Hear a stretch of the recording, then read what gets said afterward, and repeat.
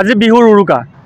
অসমত এতিয়া চলিছে বহাগক আদৰণি জনোৱাৰ প্ৰস্তুতি। ইয়াৰ সমান্তৰালকৈ তিনিচুকীয়া জিলাৰ কাকপথাৰত বিহুৰ উৰুকাৰ সমান্তৰালকৈ ৰাজ্যৰ মুখ্যমন্ত্ৰী ডক্টৰ হিমন্ত বিশ্ব শৰ্মাক আদৰিবলৈ প্ৰস্তুতি তুংগত কৰি তুলিছে।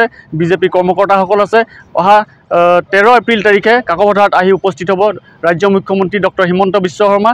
লখিমপুৰ লোকসভাৰ যি প্ৰাৰ্থী সাংসদ প্ৰদান বৰুৱাৰ হৈ তেওঁ নিৰ্বাচনী প্ৰচাৰ সভাত অংশগ্ৰহণ কৰিব প্ৰস্তুতিৰ বিষয়ে জানিব চেষ্টা কৰিম।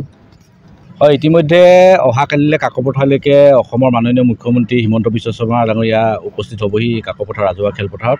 আৰু এঘাৰ বজাত তেখেতে ইয়াতে ৰাইজক সম্বোধন কৰিব। আৰু শদিয়া সমষ্টিবাসীয়ে গোটেই ৰাইজক তেওঁ বিহুৰ শুভেচ্ছা জনোৱাৰ লগতে শদিয়া উন্নয়নৰ ক্ষেত্ৰত তেখেতে কেইবাটাও ঘোষণা কৰাৰ কথা আছে।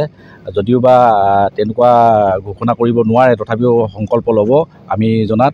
আৰু হাজাৰ হাজাৰ ৰাইজ আহিবলৈ এতিয়া ইচ্ছুক হৈ আছে। যদিও বিহু বতৰ তথাপিও যথেষ্ট সংখ্যক ৰাইজ ইয়াত উপস্থিত হ'বহি আনুমানিক কিমান সংখ্যক ৰাইজ নহাৰ সম্ভাৱনা আছে?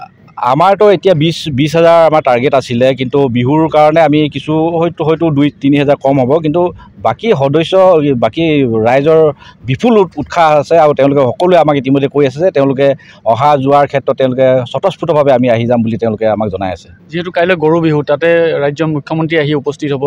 কিবা অসুবিধা হোৱা সন্মু- সন্মুখীন আছে নেকি মানুহ অহা যোৱাৰ ক্ষেত্ৰত? তেনেকুৱা ধৰণৰ অসুবিধাটো হোৱা নাই। তথাপিও ধৰি লওক অসমীয়া বাপতিসাহোন বিহু আহিছে। বিহুৰ ক্ষেত্ৰতো ৰাইজে যথেষ্ট বিহুৰ কাৰণে আমাৰ অসমীয়া যিহেতু জাতীয় উৎসৱ আৰু বিহুৰ কৰ্মখিনিও থাকে। আৰু কৰ্মখিনি পুৱাই কৰি পেলাই সকলো ৰাইজে ওলাই আহিম বুলি তেওঁলোকে জনাইছে। নিৰাপত্তা কেনেকুৱা নিৰাপত্তা নিশ্চিত নিৰাপত্তাখিনি আছে সেইখিনি নিৰাপত্তাখিনি প্ৰশাসনে নিশ্চয়কৈ কৰিব। আৰু আমি যিখিনি আমি ভাৰতীয় জনতা পাৰ্টীৰ কৰ্মকৰ্তা দিনে ৰাতিয়ে লাগি আছে আৰু তেখেতক আদৰিবৰ কাৰণে সকলো কৰ্মকৰ্তাই একেমুখে একেলগে সকলোৱে প্ৰতিটো মুহূৰ্তত প্ৰতিটো বুথ বুথ সমিতিত প্ৰতি ঘৰলৈকে এই বাৰ্তাটো প্ৰেৰণ কৰিছে আৰু সকলোৱে অহা কথা আমাক জনাইছে। আৰু কোনোবা মন্ত্ৰী বিধায়ক? তেখেতৰ লগত নিশ্চয়কৈ আমাৰ লখিমপুৰ লোকসভা সমষ্টিৰ ভাৰতীয় জনতা পাৰ্টীৰ মিত্ৰজোঁট প্ৰাৰ্থী প্ৰধান বৰুৱা ডাঙৰীয়া থাকিব। আমাৰ সকলো শ্ৰদ্ধাৰ বিধায়ক বলিন চেতিয়া ডাঙৰীয়াও ইয়াত উপস্থিত থাকিব।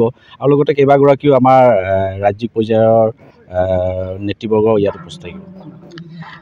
এই আছিল যি শাসকীয় দল বিজেপি কৰ্মকৰ্তাৰ তেওঁলোকৰ ভাষ্য। ইতিমধ্যে ৰাজ্যৰ মুখ্যমন্ত্ৰীগৰাকীক আদৰিবলৈ বিহুৰ সমান্তৰালকৈ তেওঁ আদৰিবলৈ কাকপথাৰবাসী এতিয়া প্ৰস্তুতি তুংগত কৰি তুলিছে। আৰু বিভিন্ন তেওঁলোকৰ যি শদিয়াৰ যি উন্নয়নমূলক বহুতো সংকল্প ল'ব বুলি তেওঁলোকে জানিবলৈ দিছে আৰু এইদৰে বহাগৰ সমান্তৰালকৈ কাকপথাৰত ৰাজ্যৰ মুখ্যমন্ত্ৰীগৰাকীক আদৰিবলৈ প্ৰস্তুতি চলোৱা দেখা পোৱা গৈছে।